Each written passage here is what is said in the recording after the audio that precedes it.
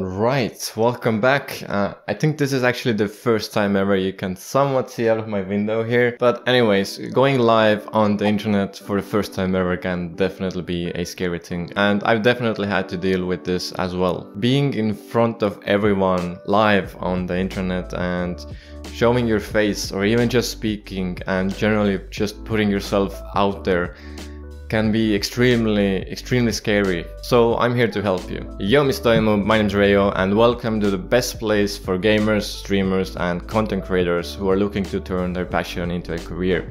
So make sure you hit the subscribe button with the not notification bell so you can continue getting the best advice on how to turn your dreams into a reality. So going live means that anyone can join your stream and watch you and possibly judge the hell out of you. They will watch you and they will either decide that you're cool enough and they will stay longer in your chat and maybe even follow you, or they can decide that you're not really that interesting and maybe they will even see that you have no idea what you're doing.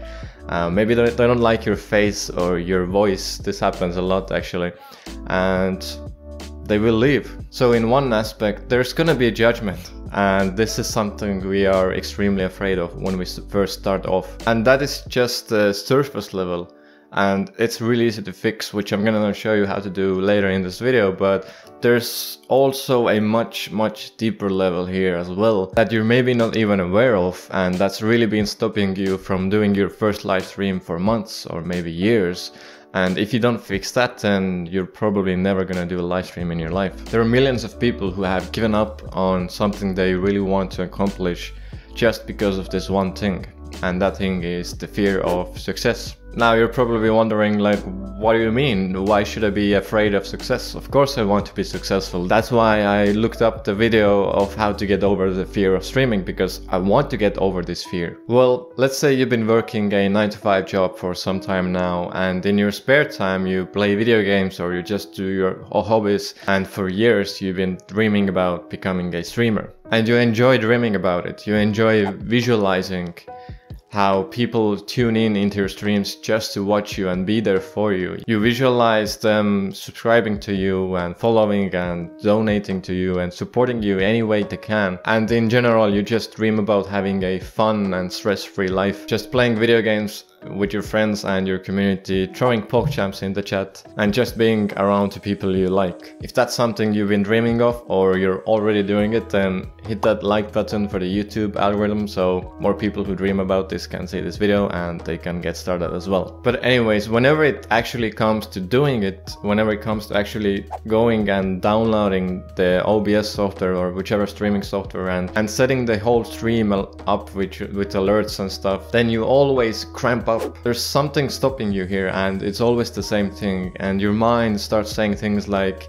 yeah, I really want to do it, but I can't do it right now because, you know, I had that thing at work I gotta finish first and then at home I have I don't know, the garden, I, I need to mow the lawn, I don't know, whatever it is, you, your mind just starts coming up with excuses upon excuses. So you're always just gonna push it further away and you're gonna tell yourself that, yeah, I'm gonna do it for sure, but just sometime later. It's funny how we always say sometime later.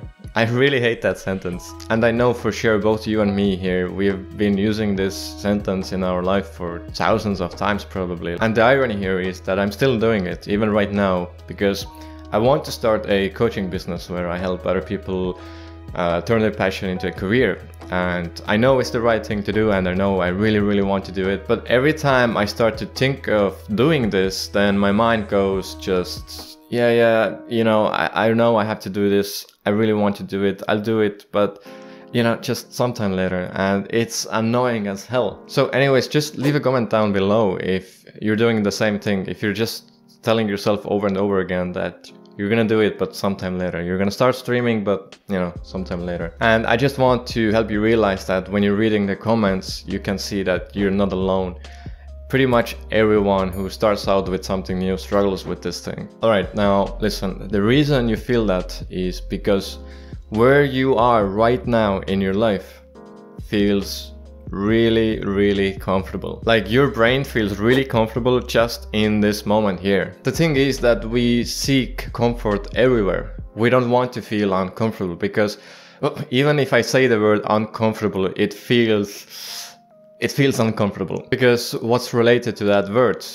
Anxiety, struggle, hardship, uh, uncertainty and not having it easy. These are all the things that we want to avoid really, really bad. But here's the trick. Whenever you start something new in, in your life, all these feelings they have to come up. There's no there's no going past them. Like you have to face those feelings. And what's funny is that we know that the thing that makes us happy and will get closer to us, our dreams is something we have to do. But starting something new is so uncomfortable that we are willing to sabotage ourselves just so we can stay where we are and never progress I mean, yes, by staying where you are, you might not feel happy or fulfilled or whatever, but at least you are doing just fine. You know, that's what your brain is telling you.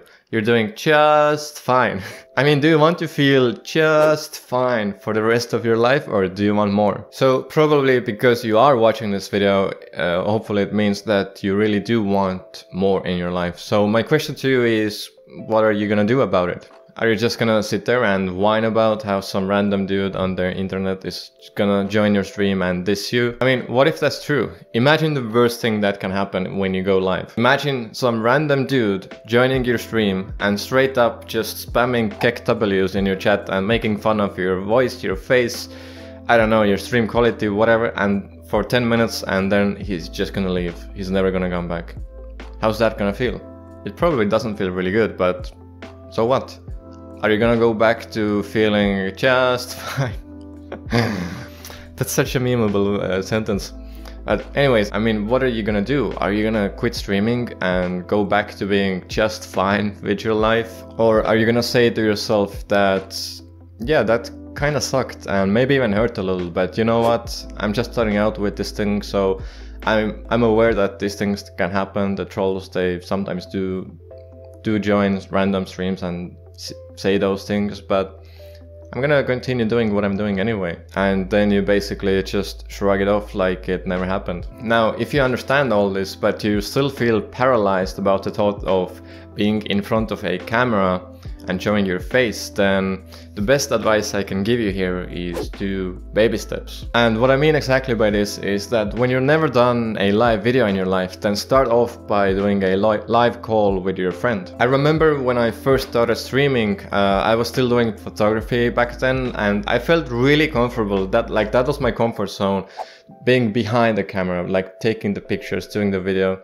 But the thought of being in front of the camera here, right where I am right now, felt extremely weird for me and unusual. And so I started out by just doing short Instagram stories on my phone, on my Instagram account. And then uh, I transitioned into doing short uh, Instagram lives. And then as I felt more comfortable being in front of a lens, um, I started streaming. And then because I was already kind of comfortable being in front of a camera because of the experience with Instagram stories and Instagram lives, I, it didn't feel that weird being live uh, in front of a Twitch audience. And because I had built up some confidence doing those things, then uh, while streaming on Twitch, I didn't have to worry about being how do I look in front of the cameras? And I could fully focus on just the streaming aspects of things like uh, are my alerts working? Um, is the music working in the stream?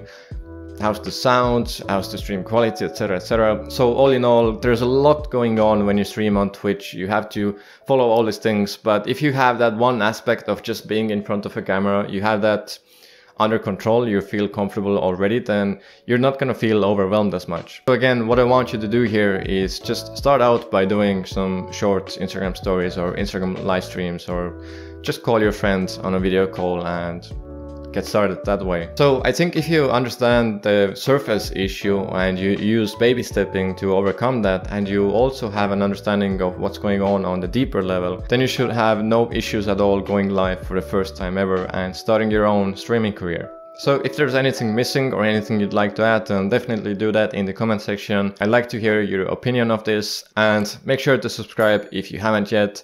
I hope you enjoyed this video and as always, Thank you so much for watching and I'll see you in the next one. GG.